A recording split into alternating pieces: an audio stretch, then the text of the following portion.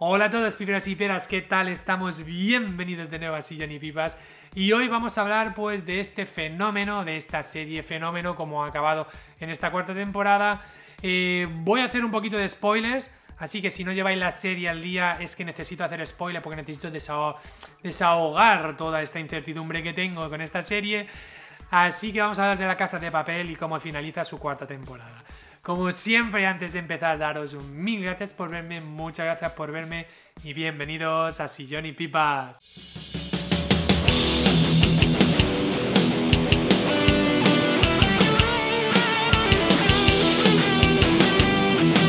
Bien, tenemos aquí esta serie española creada por Alex Pina y la verdad es que, bueno, pues tenemos que...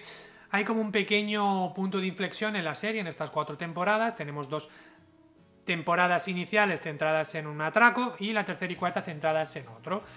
Tenemos que aquí nos va a presentar pues como el personaje de el profesor, carismático, interesante, con un pasado que vamos a ir descubriendo poco a poco a lo largo de la serie y cómo él crea un atraco, él idea un atraco durante muchos años, un atraco de eh, la casa de moneda de papel y timbre.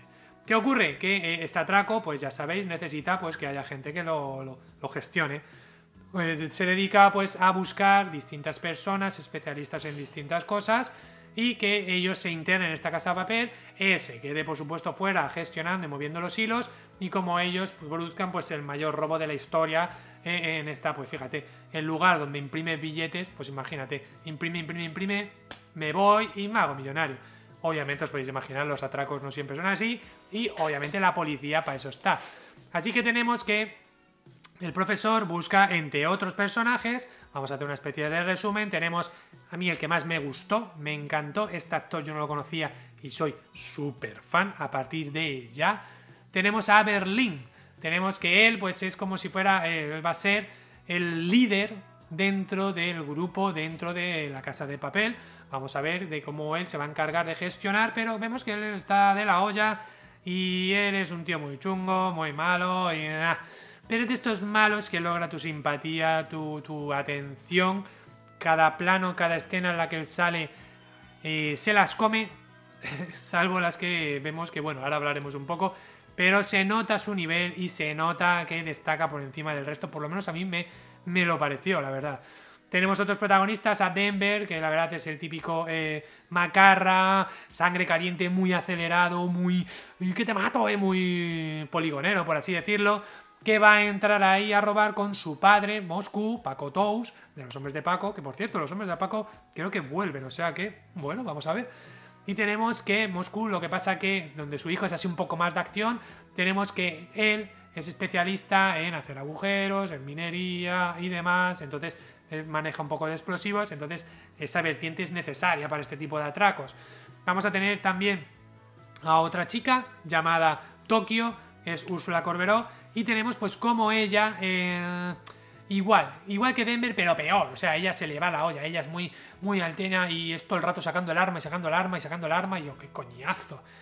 Para mí, mm, demasiado sobreactuada o demasiado acelerada. Vamos a ver que son series que a medida que avanzan los episodios vas viendo que pues se van ya relajando y situando cada uno. Pero, uff, a mí al principio me costaba mucho, ¿eh? Tampoco es que al final me haya enamorado el personaje, pero reconozco que, uff, pero luego sí que hay personajes que te enamoran, ¿no? Es lo que os he dicho, Berlín, Denver también consigue su encanto, Moscú, eh, Nairobi, me encanta, me encanta. Y yo creo que es de estos personajes, de estas actrices que descubres y dices tú, wow, has fascinado, me enamoras. Cada minuto que salía era como, wow, me encanta. Ella, pues hace como de gitana, porque ella es gitana, ¿no? Hace, pero no, no, yo creo que no se llama en ningún momento que es gitana, pero bueno, se entiende, ¿no? Pero ella hace eh, esta chica eh, sin a lo mejor tantos estudios, pero muy alegre, vivaracha, es un poco eh, el alma que intenta unir a todo el grupo también, es la pieza, una pieza muy clave dentro del grupo. Tenemos también su pasado muy interesante y como ella, pues sobre todo se va a encargar de que la cosa no pare, de que vamos a gestionar los billetes, cuántos billetes hay que fabricar y demás, y bueno, pues vamos a ver cómo funciona todo.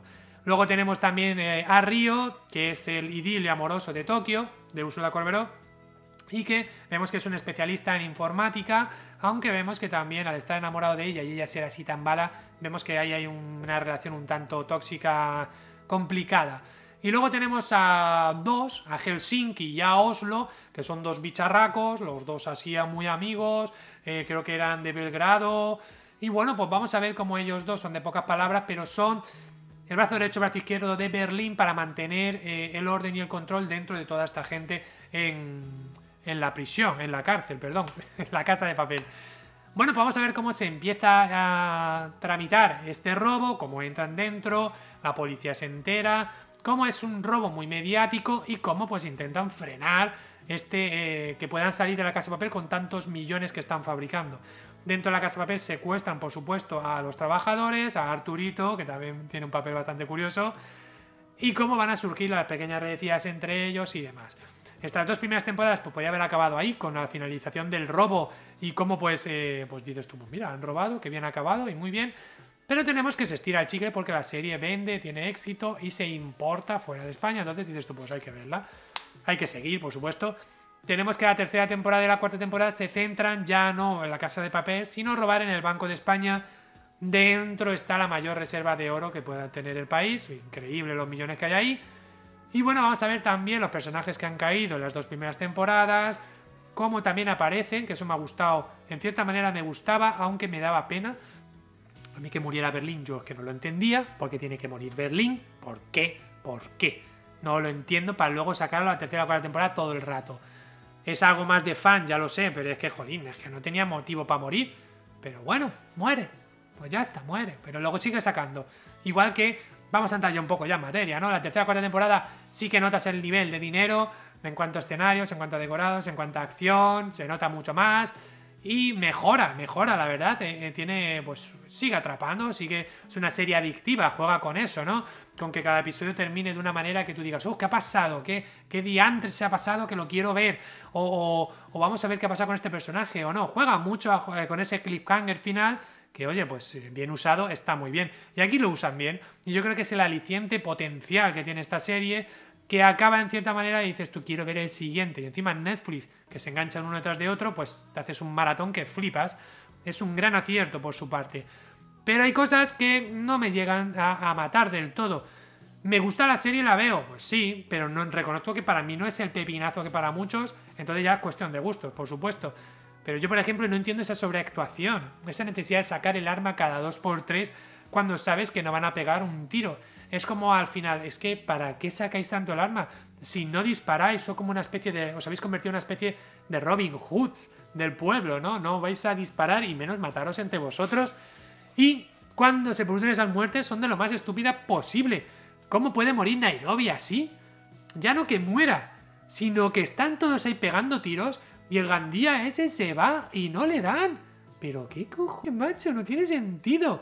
No tiene... Es que no, es que eso, eso ya es de, primero de, de, malo, de malo. No puedes explicarlo, es muy malo. La otra, se le clava aquí la granada, le pega la toque ahí en toda la cervical aquí con, la, con el trozo de la granada, le deja el hilo, no lo matan luego, casi se les escapa dos o tres veces, no lo matan. ¿Qué esperáis que este tío mate a todos? No sé, no lo sé. No sé, mira, yo es que esa sobreactuación que tiene el chaval ese que hace de Gandía.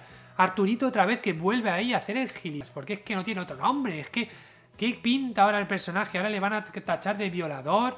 Cuando dices tú, pero bueno, yo qué sé, qué necesidad. Y mira que el actor me gusta, ¿eh? No, no, lo digo por el actor, no lo digo por la interpretación de los actores, que no dudo de sus capacidades, sino porque el guion les, les obliga a esforzarse y a, y a exagerar demasiado sus actuaciones cuando no hay necesidad.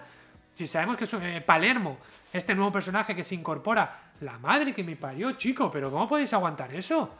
Yo es que no lo entiendo, ¿no lleváis sedantes? ¿Lleváis ahí el maletín de la señorita Bevis para entrar de nuevo, aprendiendo ya de lo que pasó en la Casa Papel, entráis en el Banco España y sois incapaces de decir, oye, me a llevar una sedante para rebajar a la gente que se vuelve loca perdida? No sé, está claro que tú tiendes a, hacer que la serie sea más realista de lo que es y la serie busca pues ese entretenimiento y esa ficción que lo consigue y chapó. O sea, yo no voy a decir que la serie sea mala, pero sí que es verdad que el guion me gustaría que no estuviera tan sobreactuado. Hay momentos que dices tú, mira, los momentos de Denver con Tokio al final era como, pero qué necesidad hay de esto ahora, no pega nada. Eh, todo lo que... La relación de Nairobi con Bogotá, digo, ¿esto quién se lo cree ahora a estas alturas? No me lo creo. Meten a la prima transexual de Denver, porque sí, porque tienen que meterla. Bueno, vale, venga. Hay como cosas en el guion que dices tú, no, tiene, no tienes necesidad de ser eh, tan innovadora para todo que al final pierda un poco o intentar mantener una tensión en cada maldita escena. Puedes desarrollar los personajes de otra manera, puedes intentar que no, que no sea todo... Es que yo de verdad, hay vídeos en internet de, memes y de caricatura o de, burla, ¿no? Y es que es verdad, macho, cada dos por te sacaban todas las pistolas, apuntaban una a otro, una a otro, una a otro. Y pero ¿esto qué es? Si luego sois incapaces de pegarle a un tío que está a dos metros entre siete, ¿cómo vais a...? De aquí a aquí os matáis a vosotros mismos. Seguro que hacía así os pegáis un tiro a vosotros. Yo qué sé, esas cosas me sacan de la serie. Por la otra parte, pues la relación del profesor con Lisboa me gusta mucho. El profesor me gusta, es un personaje bastante interesante. Marsella, pues mira, le han dado bastante. Las nuevas incorporaciones están muy bien. Y Palermo, pese a todo, no está mal. Pero reconozco que es como, uff, vamos a relajarnos. Vamos a relajarnos. No hace falta eh, que, Tokio siempre sea así, chunga, porque yo entiendo que puede ser la más chunga del mundo, pero es que joder, macho, si eres chunga, eres chunga, pero no seas una papanatas sacando todo el día la pistola para nada, para nada. Al final, es una buena serie, es entretenida, pero a mí personalmente yo no la considero tan, tan, tan maravillosa. La voy a seguir viendo, por supuesto, ya que estamos. Espero que no la alarguen más, porque creo que al final esta serie pues es lo que pasa. Tú tiendes, sabes que es ficción, pero tiendes a buscar esa credibilidad que es de alargarla muchos episodios te va a ser contraproducente. Vamos a ver qué tal. Tiene que haber una quinta temporada. no tienen más de seis. O sea, ya no vayamos más de seis. El robo... Luego tenemos a Anaya Ninri. Bueno, esta nueva policía embarazada. Que dices tú, joder. Embarazada ahí, cómo acaba la temporada, el papel que ha dado.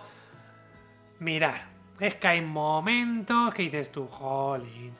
Pero bastante interés en la nueva serie que tiene Al Espina en mente, que va a traernos. Y bueno, vamos a ver qué tal. Yo qué sé, vosotros decidme, sé que es un vídeo polémico, sé que es un vídeo que mucha gente que ama la serie, que me van a caer por todos lados. Pero bueno, decidme vosotros qué os parece, si habéis visto la serie, ¿no? ¿Qué opinión tenéis? Y como siempre, pues ya sabéis, si os ha gustado el vídeo, dadle al like, suscribiros al canal si queréis estar al día de todos los vídeos que voy publicando. Y como no, daros mil gracias por verme, muchas gracias por verme y nos vemos en el siguiente vídeo. ¡Chao familia!